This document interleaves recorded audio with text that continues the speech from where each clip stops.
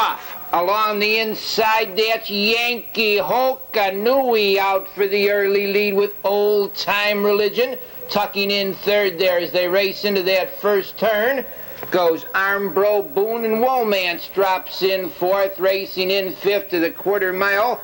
Elmer Hanover and around the turn. Yankee Hokonui shows the way. The old time religion racing second.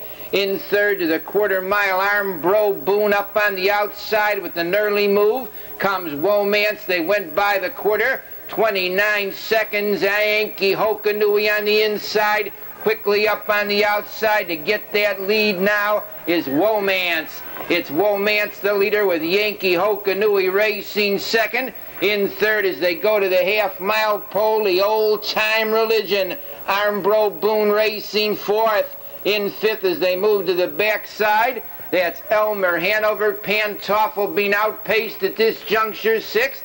Racing up seventh to the three quarters goes Georgia Blues in eighth position. Toby Mack. Dream on Sandy rather be somewhere else as they go to the three quarters. On the front end, it's Womance, the leader of length. Yankee Hokonui pacing second.